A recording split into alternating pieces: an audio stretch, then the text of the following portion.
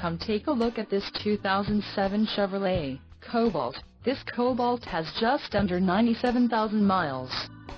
For your protection, a warranty is available for this vehicle.